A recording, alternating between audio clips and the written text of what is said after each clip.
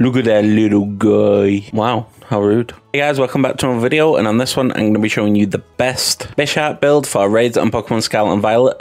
Now, this Pokemon could actually be better than Kingambit in raids, and you'll find out why in this video. So let's find out where to get him. Oh wow, sorry if I was boring you. So to get Bisharp, you want to come right here on the map, so just fly over to North Province Area 2 and then just look around in this location and eventually you'll find a Bisharp. Okay, we finally found one. So we're just going to encounter it. Now, when you encounter your Bisharp, make sure it's a steel type Tera because that's one we're going to be using and you don't want to waste 50 shards. So we're just going to go ahead and catch that and then we're going to get into the build. Get me out of this laggy forest. The only thing worse than a laggy forest is a forest that lags. So before we get into the actual build, if you enjoy videos like this, the builds, the shiny videos, the guides, make sure to subscribe and turn on that notification bell so you don't miss another video. There are plenty more where that came from. And if you want to join the Discord, I can help you out even more. You could come have some fun over there or just show off your shinies and show off your guides and all that good stuff. It'd be amazing to have you over there. Link in the description. Onto the build. So like I said, we have our steel type Tera. It's going to be the best Tera for us. It's going to be the Tera I prefer anyway.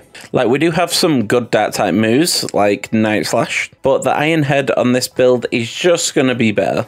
And with that 30% chance to flinch, you can't really complain. So the item we're going to be using is going to be the Eviolite. Now, this item is going to be the main reason why this could potentially be better than Kingambit. And what this item does is if we can evolve again, it increases our defense and special defense by 50%. Now, people normally only really use this on Chansey, but because of the new introduction to Pokemon like Primeape and Bisharp, it brings around a whole new conversation of being able to use this item. So it's defense and special defense right now uh, at 100 defense and 70 special defense. But after this item, we're looking at 150 defense and 105 special defense, which is just incredible. And we still have 125 attack. So it's just nuts. And this is 30 more defense than Kingambit and 20 more special defense while only sacrificing 10 attack. We do sacrifice an offensive item, but that's going to be fine. And I want you to put in the comments which build you prefer, a Kingambit or a Bisharp with Eviolite. Now to get the Eviolite, you just want to fly over to Mesagoza, and we're going to be coming to the Delibird present shop in Mesagoza. We have made it, and I just want you to go inside there, click on the old battle items, scroll down, and you can buy it for 50,000 Pokedollars. and then you just want to equip it onto your Bisharp. Next up, make your way over to the Chansey supply shop in Mesagoza, because we're going to be changing our nature. Here we are, just go inside there. Scroll down until you get to the first set of mints. Going to be the red mints and buy an adamant mint if you don't already have one and equip it onto your Bisharp. This will raise its attack and decrease its special attack. We aren't a special attacker. All our damage is going to come from our physical attacks. So like I said there, up and attack, down in special attack. And now we can move on to the EVs. So the EVs we're going to be running are going to be HP and attack. HP to maximize that chance of surviving and attack to do more damage. Now to get your EV items, come back in the Chansey supply shop, buy 26 HP ups and 26 proteins. This will get you max HP and max attack. This will cost you 520,000 Pokedollars however, so it is a bit expensive and I'm going to show you an alternative way to doing it, where if you're training six Pokemon at once, you can actually save yourself over 3 million Pokedollars. So just go to any Delibird shop, click on general goods, go to the bottom, there'll be your power items, buy the power weight and the power bracer. These are your EV training items for your HP and attack. They give you 8 EVs per kill. So if you kill something with 1 EV, like a Lechonk, you'll get 9 instead of 1. So I'm going to show you where to EV train HP and attack real quick. I could actually do it there because there's an outbreak, but I won't be doing. So put a waypoint right here, fly over the lighthouse and make your way over. And there's two ways you can do this. You can take out the Lechonk, which give one EV each on 9 with the item. Or you can do what I prefer to do and come down here near this water and once you get to the water, you will find Azurill. Now, if you activate an encounter power level 2 sandwich, tons of Azurills spawn and you can kill them instead. If you want to make some money while you're at it, get a level 100 Persian, equip the amulet coin to it, teach it payday, use PP up twice on your payday, it will go to 28, which is the exact number of the Azurill we're going to need to kill. And when the 28 drops to zero, you'll have 28 grand more than you had before, and you'll have a max EV and HP. What more could you want? Except for attack EVs, so I'm going to show you where to get them right now. So fly over to South Province Area 3, and then we're going to be looking around for a Shinx. So there's a family of them up there. So when you take out the Shinx, you get one attack EV on 9 with the item, and we're going to be activating an Encounter Power Electric Level 2 sandwich, and then tons of Shinx will spawn, and you'll get it in no time. Take out 28 of them, and you'll have another 28 grand and another max EV. And then we can move on to our IVs. So to check your IVs, go in your main menu, click on boxes, hover over your Bisharp, click the plus button until it goes to this screen on the top right. If it says hyper trained or best, you have a max IV. If it says anything else, you will need a bottle cap. Except for special attack, we're not going to use it, so just leave it blank. None of our damage comes from it, even though we do have a special attacking move. And if you see any Yungoos or Growlithe in this area, you can take those out as well, because they give attack EVs as well. Now that you found out how many IVs you need to max out, head to any Delibird shop. Okay, so you're at your Delibird shop, go inside, click on general goods. The first item will be the bottle cap. However many max IVs you need, buy a bottle cap for each one of them. Each bottle cap is one max IV. Saving yourself some money is always a good thing. And then head over to Montenevera. Once you're here, speak to the person next to the Abomasnow. He will hyper train your Pokemon. Click your Bisharp, then click bottle caps. Click HP, attack, defense, special defense, and speed, and then click start the training. You can do special attack if you want. We do have a special attacking move, which is going to be Snarl, but it's not going to be a damaging move. It's going to be a defensive move, so I don't really see the point. And our special attack is only a third of our attack. So I'm not going to do it. You can do it if you want. I'll leave it completely up to you. Moving on to the ability. So we have three abilities. Our first ability is Inner Focus. That means we can't flinch. Our second ability will be Defiant. This increases our attack by two stages when one of our stats is lowered. And our third ability is going to be Pressure. And every time someone attacks us, they lose 2 PP instead of 1 PP. Their PP runs out quicker. Pressure isn't really useful in raids. And Inner Focus, eh, not really that good compared to Defiant. Defiant's going to power us up massively if we're against a Pokemon that reduces our stats. Moving on to the move set, we have Iron Head, Iron Defense, Swords Dance, and Snarl. Iron Head's going to be our main attacking move. Our Steel type move, 80 power, 100 accuracy, 30% chance to flinch. It's going to be a really good move. Iron Defense going to be our physically defensive move. Increases our defense by two stages every time we use it. Not that we need it. We're on 150 defense with our item. Swords Dance, that will boost our attack by two stages every time we use that. That'll be our offensive setup move. And Snarl will be our special defensive move. Every time we attack, it reduces their special attack by one stage and it gets us one of our Now, Swords Dance, Iron Defense, and Iron Head, we can learn all through level up, so just get to level 100, relearn all of them. As for Snarl, unfortunately, we're going to need to learn this through TM, but it's the only move we need through TM, so it's not really going to take that long. So come to any Pokemon Center, come to the green section, the TM machine, go to your dark section, go to TM30. It will cost us free Maschiff Fangs and free Squawkabilly Feathers, so let's hunt them down. So we're going to be flying over to South Province area for Watchtower for our Maschiff Fangs. And around this tower, you will find your Maschiffs. There's one right over there straight away. So just take them out and you will get your Maschiff Fangs. Moving on to the Squawkabilly Feathers. So Squawkabilly, come to the right side of the map, fly over to Artazon East. We're going to be coming right here on the map. As soon as it says East Province Area 1, you will have a chance of finding the Squawkabillies. So just have a look around, head into the waypoint that I put on because that's essentially where you want to go. Uh, here's a pack of them, so we're just going to take out these. And would you look at that, we got some Squawkabilly feathers and we're ready to go. Smash the like button if you enjoying this video so far, and let's get into them raids. Oh, here we go. Battle of the defenses. This Pokemon's just going to be a pain because of its high defense. I think it's got the best defense on the entire game. But we're going to see how it goes. It's going to be a six star fairy type Avalugg. Let's get straight into it. So first move is going to be Iron Defense because it is a physical attacker. Let's see how much damage this doesn't do. 18 damage. Wonderful.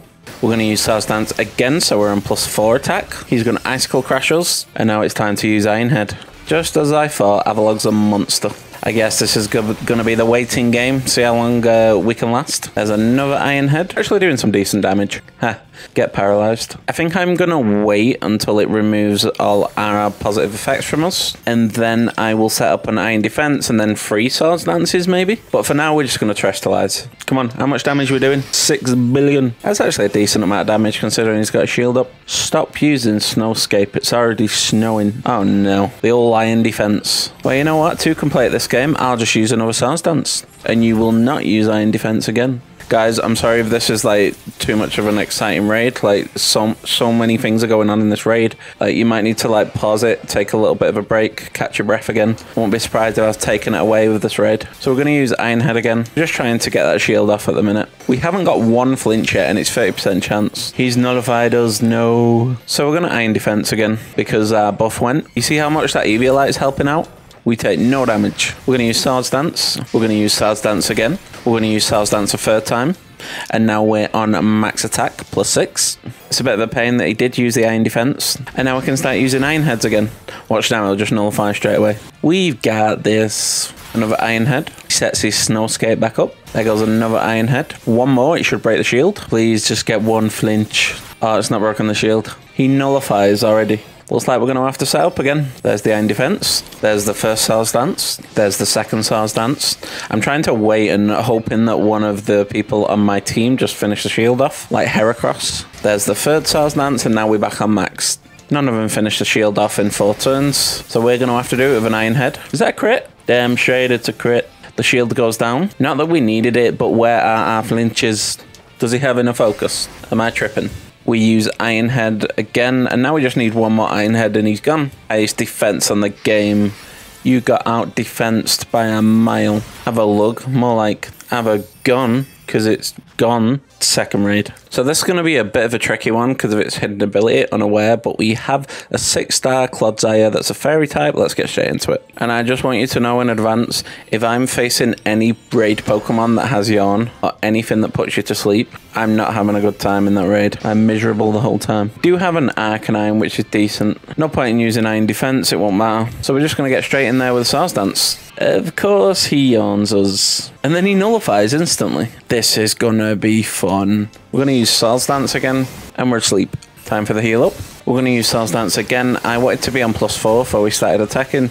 I think with the amount of damage he does, I can get enough Iron Heads away here to a point where I get my Terastallize. That did a lot of damage. I thought it was a crit at first. His shield's gone up after one attack. Wow. Double yawning us. Terrible behavior. We're going to use Iron Head again, see how much damage. It's doing a decent little chunk to the shield as well. He uses yawn, three back-to-back -back yawns. Two of them fail. You, my friend. You. No, you're not even my friend. You. Disgraceful behavior. We're going to heal up, get rid of that sleep. Oh, the Arboliva's finally got his Seed Sower out. And now we're going to use Ironhead again. Please, just flinch. One flinch. Just one. Hey, guys. What do you call a Pokemon that wants to be a police officer? A Magikarp. I'm here all week. We're going to Terastallize here and get a big hit away. By the way, if any of you didn't laugh at that, I'm, I'm ashamed in you. Let's see how much this does. Hopefully it does at least half of the shield. It does about half of the shield. He uses Earthquake. He nullifies all the stats on our side. We're going to use our last heal. So we're going to kick it off with a Swords Dance now that all our stats have been nullified. Don't use Yawn, just use Earthquake. Thank you. It's not going to use Earthquake again. I'm going to use Swords Dance because we've actually got a free move because it didn't use Yawn. This will put us on plus 4 attack. There's the Yawn. Our next attack breaks the shield, surely. And we're staying on top of our health because of this Arboliva. Let's see how much Iron Head does. Please break the shield. Boom. Oh, it did more than break the shield. We got a crit and it takes it to red and we just need one more attack and it's done. It uses Earthquake. Because of the Arcanine's Intimidate, it's not doing as much damage as it could. And now we just need to wake up to finish the raid. We wake up and the raid's over. And the Clodsire faints. Goodbye, Clodsire. I hope I never see you again. You're a pain to fight in raids. No Mystica for our troubles. Disgraceful. Now let's move on to that third raid. Oh, this one's going to be a fun. We've got a six-star rock type Blissey. Can't wait to destroy this thing. Let's get straight into it. And don't you put me to sleep, Miss Blissey. So we're going to start off with a Swords Dance, no point in uh, setting up a Snarl because it has Seismic Toss. It sets up a light screen, that's only good for us, wasting an attack. We're going to use another Swords Dance. We avoid the Sing. Let's go. It uses Defense Curl, which is not good. We're going to use Swords Dance. We are now on max attack. Dazzling Gleam, like a dazzling meme because it's laughable. Right, we're going to use Go All Out. I just want to see how much damage we can do. It would help if it hadn't have used the defense curl. Let's see the damage. Boom. About half. Okay. You shall miss. There we go. Mr. Sing. Speak it into existence. It's used defense curl again. Now, this is cheating. You don't get to use twice in one raid. We're going to use Iron Head, to do a bit of damage to the shield. I just want to get my Terastallize now. Light screen doesn't affect us. Another Iron Head. Why are we not getting flinches? It's 30% flinch chance, and we've not got one the whole time we've been playing. Damn raid hacks. I swear six star raids just have hacks. Never hurt themselves in confusion, never flinch. But we have terastallized. Let's see how much damage Iron Head does now. So it's doing over half to the shield. That's amazing. Removes negative effects from itself. That's alright. Don't nullify us. It uses Sing, it misses again. Wasn't even attacking me, but still. And we're going to finish it off with one more Iron Head. And hopefully get five Mysticas. Calling it right now, so it's in the universe. And that's Blissey over with. Ready for this? Five Mystica. Can we get a five Mystica? Five Mystica. Going once, going twice. Wow, we got three Mystica. That's amazing. Wow, I did not actually expect to get that many. Incredible. Now, if you thought this build was cool, you might want to check out another one of my builds. We've got tons of builds on the channel.